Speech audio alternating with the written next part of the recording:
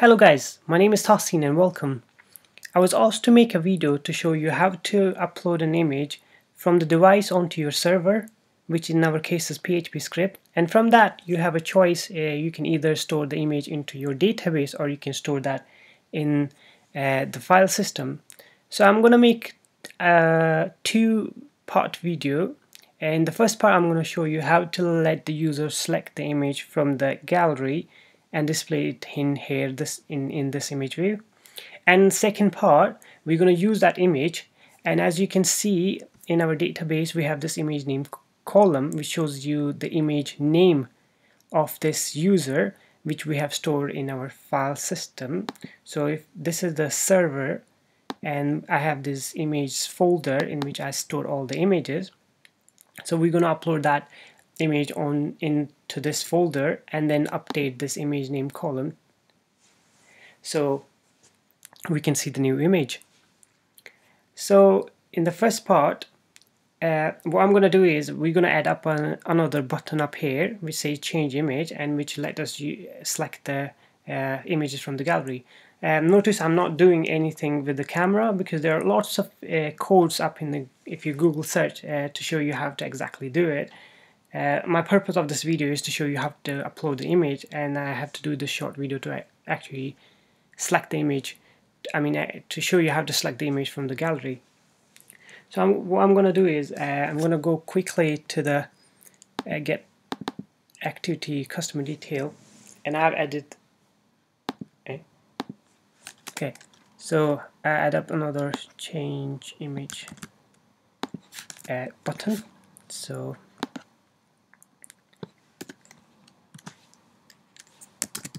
Want a button and if I can quickly copy paste this thing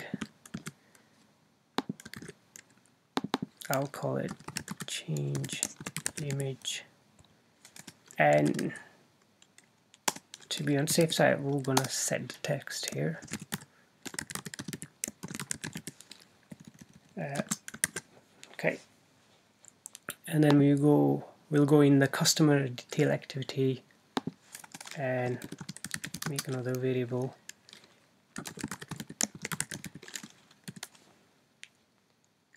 Let's call it change image button. Import this. Then up in here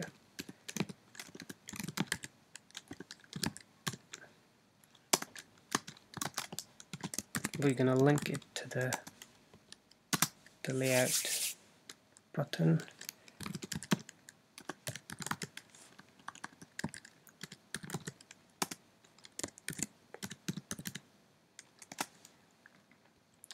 And quickly before I forget because if you see in a part for video I have shown you how to show the images in the list view. Unfortunately I've lost that code and I've seen so many requests asking people about the code and I'm really sorry. So I'm, what I've done is uh, from this day now on if I make another videos uh, what I've done is I've already uploaded this uh, code onto my github page and this is an Android app uh, and this is the PHP scripts which, uh, which you need to talk to the database. Uh, feel free to download it and please if you can I mean start them so more people can see it. So let's add the listener to this button. Uh, I'm gonna add links for this uh, GitHub page. Uh, you can easily locate me with my ID. So,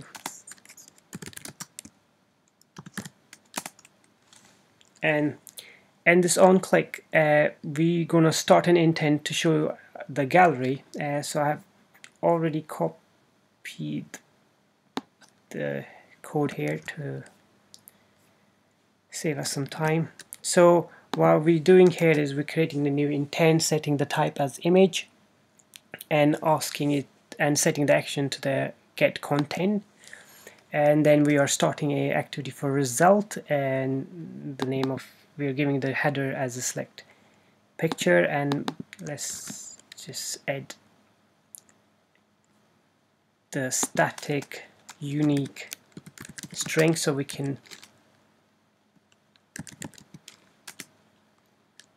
sorry so we can understand when we in the on result on activity result we can uh, actually know that this is getting the result from this activity we have initiated from this button. And for some reason I'm losing okay so so this is all done and uh, because we're using action.get content we need a permission. So go to the manifest file and add permission and the permission you need for this is read external storage. And once you're done uh, let's copy this again. And like I said I've copy pasted this uh, and I'm gonna tell you what it does. It's normally it's, it's gonna be same as always. Uh, you don't need to know more about it. Just let get all the dependencies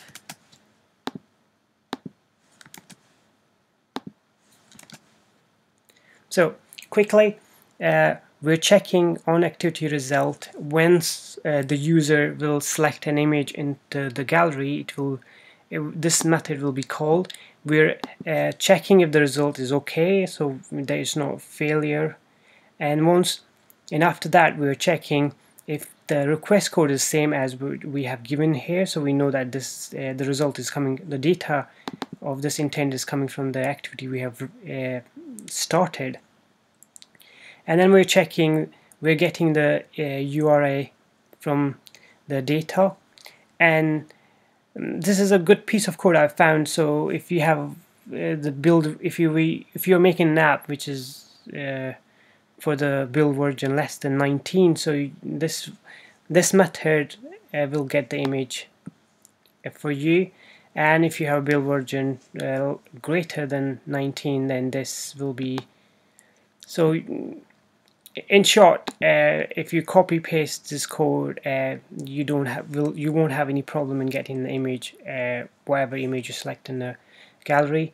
Uh, you may have to do a little bit of thinking when you're adding the functionality of a camera. Uh, maybe you're using this method same for the camera but that is a different thing. So once we get the bitmap from either of this uh, methods or either of these things, I've set I will pass that image uh, to the set image which I will describe up here.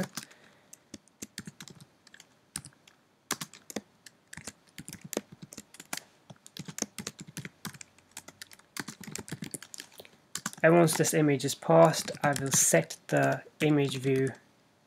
I will set the image of the image view.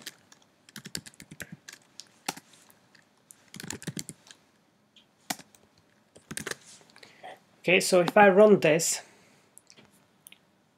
hopefully it will let us choose the image from the gallery and uh, update the image view